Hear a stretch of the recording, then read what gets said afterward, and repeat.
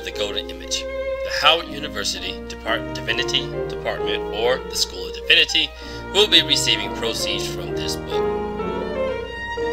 The Golden Image has stories based on the Bible, let's just say, from the Bible. And this means there is a spiritual connection to the stories, and it was important to have at least one charity have some sort of a religious background as well. And then when combing through the options, Howard University looked like an excellent choice. Started in 1867, Howard University is a historically black college and university, or an HBCU, located in Washington, D.C.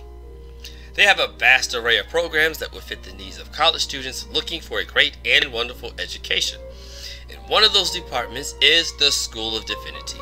Now, within this program, Howard School of Divinity has many different majors and programs to choose from. And because of this is a private school, they can also openly teach the spiritual as well as the intellectual information to their students.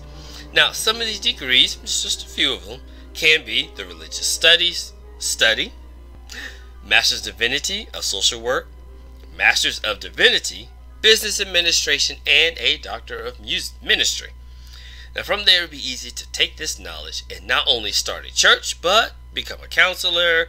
You could be an administrator of some sort, whether it's for a denomination or for a church or for some other spiritual religious group or just a group in general.